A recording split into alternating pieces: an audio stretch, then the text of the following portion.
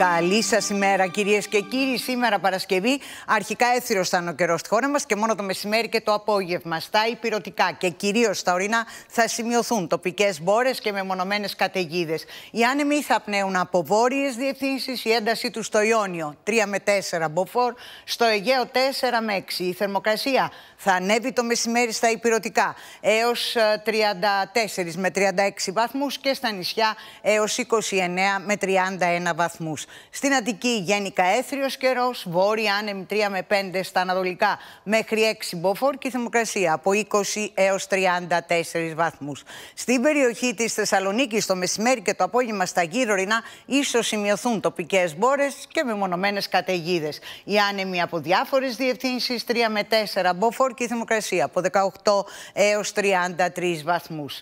Ε, το Σάββατο τώρα και πάλι αρχικά έθριος ο καιρός, το μεσημέρι και το απόγευμα στα υπηρετικά και κυρίως στα δυτικά και βόρεια υπηρετικά θα σημειωθούν τοπικές μπόρες και σποραντικέ καταιγίδες που το βράδυ θα εξασθενήσουν. Οι άνεμοι θα πνέουν από βόρειες διευθύνσεις στο Αιγαίο. Η έντασή τους μέχρι 5 μποφόρ και η θερμοκρασία θα σημειώσει μικρή περαιτέρω άνοδο και θα αγγίξει στα υπηρετικά τους 35 με 36 και στα ανατολικά υπηρετικά τοπικά έως 37 βαθμούς.